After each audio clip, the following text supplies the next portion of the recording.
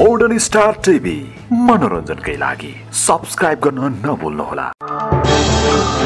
चिनिया र भारतीय सैनिक बीच सीमा क्षेत्रमा ढुङ्गा हानाहान भएको छ। दुवैतर्फका केही सैनिक घाइते भएको जनाइएको छ। पछिल्लो तनाव लद्दाख क्षेत्रमा भएको हो। यसअघिदेखि नै यो डोक्लाम क्षेत्रमा दुवै देशका सेना आमने सामने भएर बसेका छन्। सीमा क्षेत्रमा देखिएको तनाव कम गर्न कूटनीतिक प्रयास असफल हुँदै गएको परिस्थितिमा लत्थामा मङ्गलबार दुवै मुलुकका सेना एक आपसमा भिडेका हुन्। यद्यपि दुवैतर्फबाट हतियार भने प्रयोग गरिएको थिएन।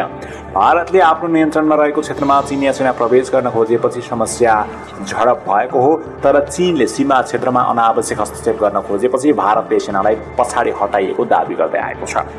स्थिति नियन्त्रणमा लिन ब्यानल ड्रिल गरिएको र दुवै पक्षका सेना आफ्नो स्थानमा फर्किएको भारतीय सञ्चार माध्यमले सैनिक स्रोतलाई उद्धृत गर्दै एजेन्सीले समाचार लेखेका छन्।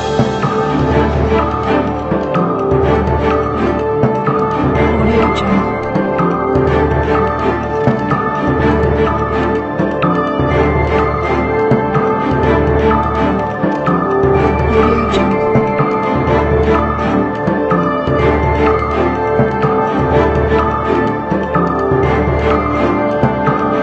也这么。